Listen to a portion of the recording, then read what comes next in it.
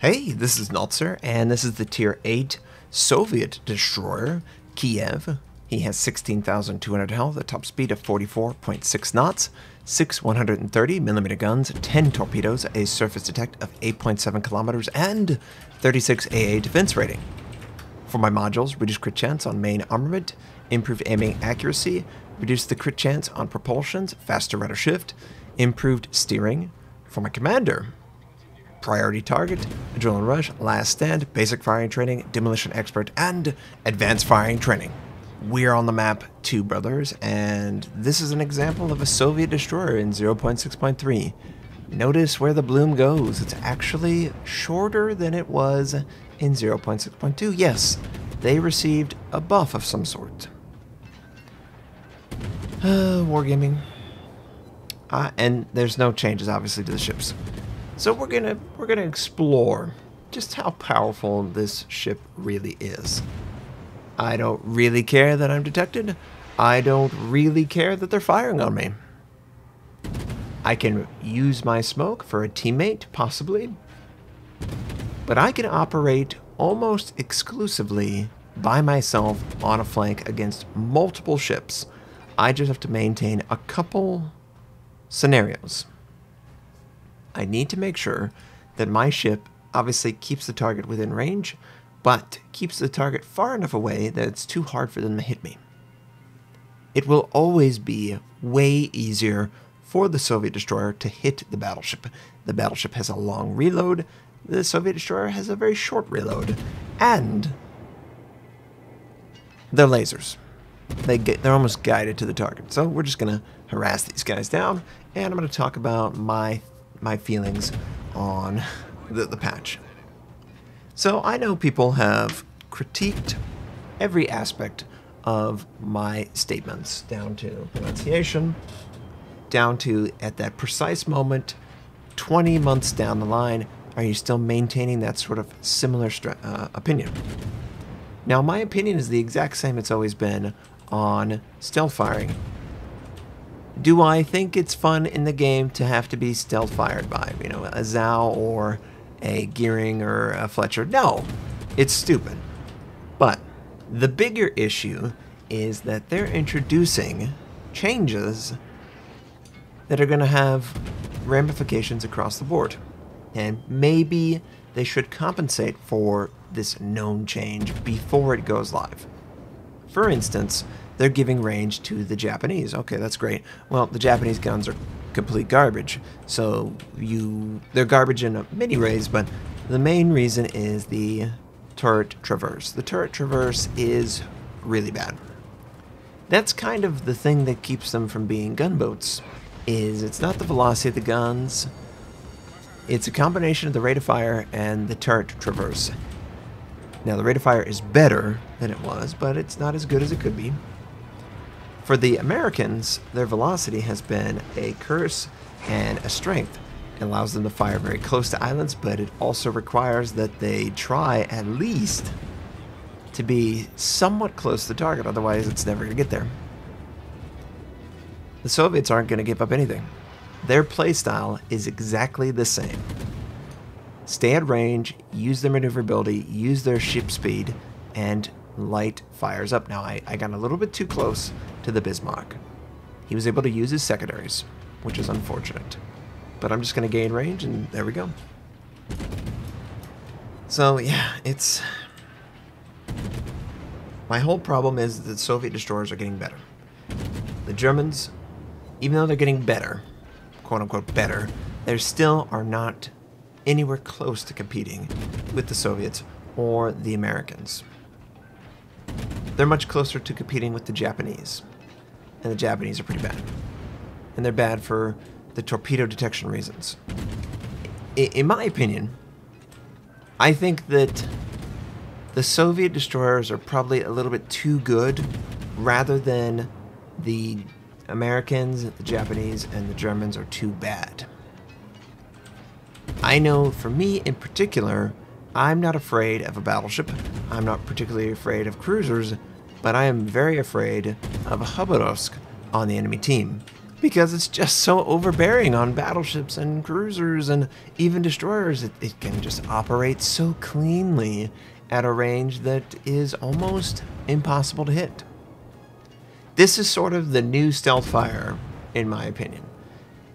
And it's it's not as completely gamey, where you can't see the target, but it is almost as frustrating seeing a destroyer 12, 13 kilometers away from you, hitting pretty much most of the shots. You know, not as accurate as 10, but hitting pretty much most of the shots, setting your target on fire consistently, and you having no real reaction to it. He doesn't care that he's detected. He doesn't care that he has to deal with multiple targets firing on his position. He does not even remotely flinch at that idea because that is what he's built to do. He's built to deal just with this. I can't really say that there is a weakness in their play. Since they've nerfed torpedoes so much, it's not really a big deal that their torpedo range is really garbage early on. They only have, what, 8 to 10 kilometers at the top tier. That's not really a big deal. But is Wargaming going to bring back torpedoes and their effectiveness? I don't know. I, I, I don't know. I, I hope that they reevaluate at least some aspects of the changes they made to the Japanese, because the Japanese are, it's just a really unfortunate coincidence that the Japanese lost their torpedoes, and I think the Soviet destroyers were coming out roughly around that time, maybe two or three months difference, and you could just see the Americans and the Soviets rise up, the Japanese fall to the wayside. There used to be absolute terror with the Shimakaze. People just wanted to run away, and nobody nobody cares now. It's like, oh, Shimakaze, who cares? I'm afraid of that Khabarovsk. I'm afraid of that Gearing, that, that Fletcher. So that's that's just that's just the nature of it. And uh, yeah, I did podcasts, I've talked about this. This is the biggest deal to me. The the balance between all of the destroyers for stealth. You know, it's unfortunate that the Americans can't disengage as quickly as they want to, same with the Japanese because of the stealth fire nerfs. But it's not it's not impossible. You just have to be more selfish, use your smoke, act like your teammates don't exist, and you'll succeed more. yeah, that's what we need. More selfish play, but that's the idea. You have to smoke for yourself. Why would you smoke for other people? Your torpedoes are not good enough to rely on. You cannot rely on your torpedoes alone. Otherwise, it's it's well, we've we've worked through that. I'm still trying to figure out any any small solution. Now, here is an intriguing part of the game there is actually a cyclone going on. And I can't take advantage of my awesome laser like guns at range. I have to be within 8 kilometers of my target, or something roughly like that. That's extremely scary. Extremely scary. Like, I, I can't even express that. It, it, it's it's just one of those things where it's like I can't do what I want to do now. I can't run in, use my guns against the enemy, and hope that we have a chance to take him out. My torpedoes, you know, he's got to make one good turn, and he'll avoid it. That's that's what's going to happen. And that's what it ends up doing. It ends up being a scenario where you miss with your torpedoes, and you're dead. So, that's just the way it works, right? And uh, I'm just trying my best. I'm trying to use the smoke, friendly Mogami, all that stuff. It it's great. It helps me out. It protects my ship, and uh, yeah, yeah. It's it's not even it's not even gonna work out. It's not even gonna work out. You know, it's like ah, please, friendly, detect for me, and he doesn't want to detect for me. He he wants to just stay alive. So so yeah, this so this is this is sort of what is the problem. The Soviet destroyers don't really detect. And by the way, I was I was sending torpedoes trying to help them out survive. I'm like, Careful of torpedoes! But the Soviet destroyers don't operate like any other destroyer. They don't value their stealth. They they completely are comfortable spotting. Don't get me wrong, but spotting at spotting at fairly reasonable range. It's just one of those things where it's like the the worst case scenario occurred.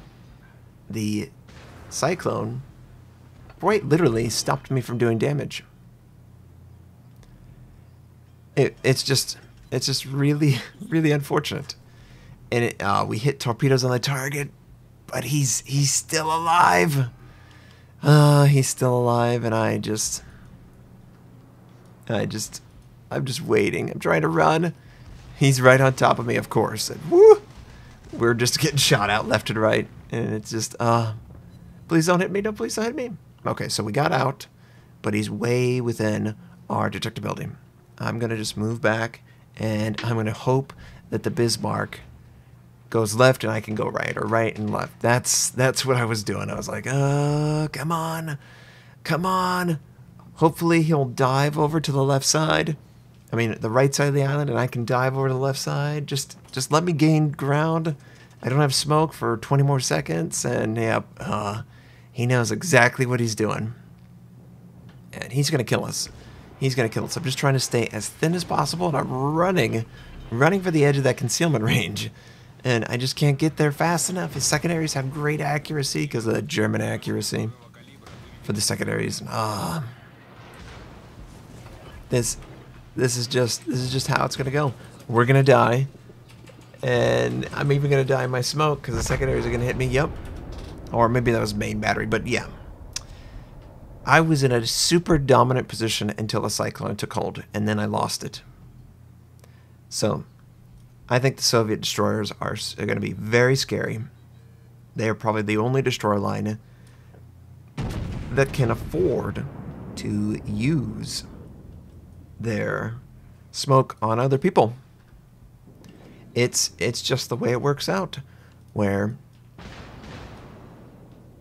they don't rely on the spotting mechanics. In fact, they they they they avoid it. The only scenario that's bad for them is cyclone, and you know cyclone is pretty good for Japanese or a gearing because they can get close enough in order to spot and send torpedoes, but still run away and be careful. You know. So it's just it's just funny how it works out. So that was a look at the Soviet destroyer in 0.6.3, almost carbon copy of what we expect in 0.6.2. I hope that you have enjoyed this. I hope you have a fantastic day, and I'll catch you next time.